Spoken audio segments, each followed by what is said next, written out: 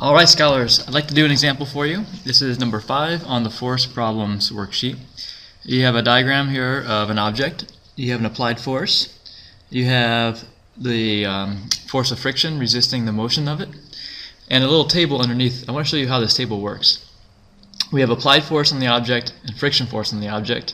The net force on the object would be uh, the difference between the two because applied force is to the right, friction force is to the left. To find the net force, we subtract. And um, you also have the mass of the object and the acceleration of the object. We're going to use Newton's second law that says the net force, F net, equals mass times acceleration. So here we see the mass is 1.5 kilograms. In order to find the acceleration, we would have to know the net force on the object, but that's easy to figure out. We can do applied force of 18 newtons minus 12 newtons of friction force equals 6 newtons of net force to the right because the applied force is to the right and it's stronger than the friction force. So now we can uh, we can now use this equation. We can do a little algebraic rearrangement here. We can divide both sides by acceleration. I'm sorry, divide both sides by mass. Mass will cancel out on the right. And so what we have is another form for this equation where acceleration equals net force divided by mass. So to, fill, to finish in this table, the acceleration is going to be 6 newtons divided by 1.5 kilograms. Ah, there we go. And 6 divided by 1.5 is 3.0 meters per second square. Okay, um, so these all use the same equation. And um, let me do one example like this one here. 75 kilograms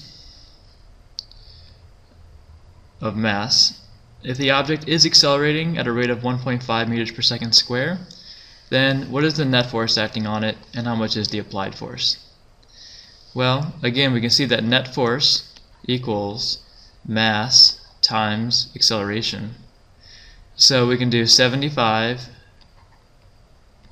times 1.5 and that is, let's see, half of 75 is um, 37.5. 37 plus 0.5 is 112.5 newtons. So if we're going to end up with this much net force, then this is the difference between the applied force and the friction force. If the friction force is 80, then we have to have some number here for applied force that will give us 112.5 after we subtract the friction force. So this here is going to be equal to 80 newtons plus 112.5 which will give us 192.5 newtons. So let's just check our work here. Applied force of 192.5 minus 80 gives us a net force of 112.5 newtons, which will cause a 75 kilogram object to accelerate at a rate of 1.5 meters per second square. Okay. Um, if you look on the if you look on the back side, you're going to see a different type of table. Let me explain how this works. Description of motion. If the object is at rest and you are applying a force of 50 newtons to it, then how much static friction must there be? We know we're dealing with static friction because it is at rest. And because it's at rest, the forces on it are balanced. Applied force of 50 newtons must be balanced with a friction force of 50 newtons. Um, let's see here. The next example, constant velocity. So we know it's moving, but it's not accelerating. So here we can say, again, the net force acting on it is zero. So how much applied force would balance out 150 newtons of kinetic friction force? And um, I'll let you decide what you think is the best answer for that, and we'll check them tomorrow in class. Good luck!